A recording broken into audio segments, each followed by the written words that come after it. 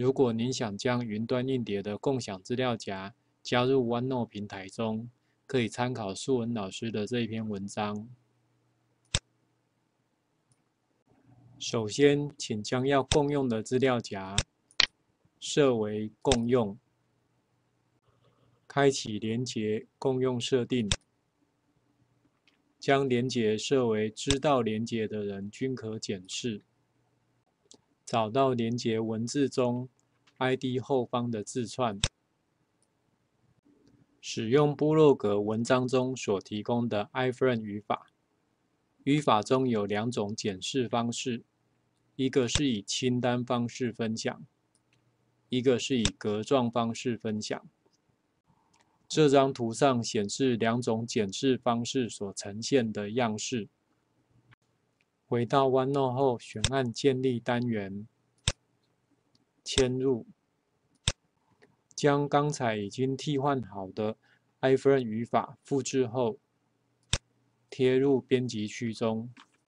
这样您就能看到刚才云端硬碟资料夹中的内容已经显示在 OneNote 的编辑区中。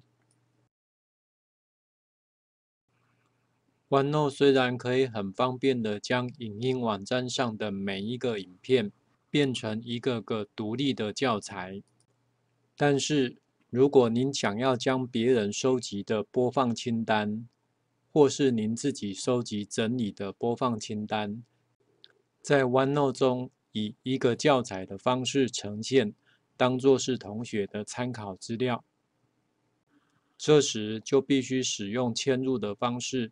来完成这样的设定。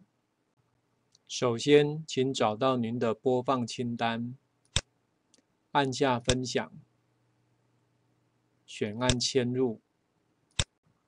您可以选择迁入时的影片大小。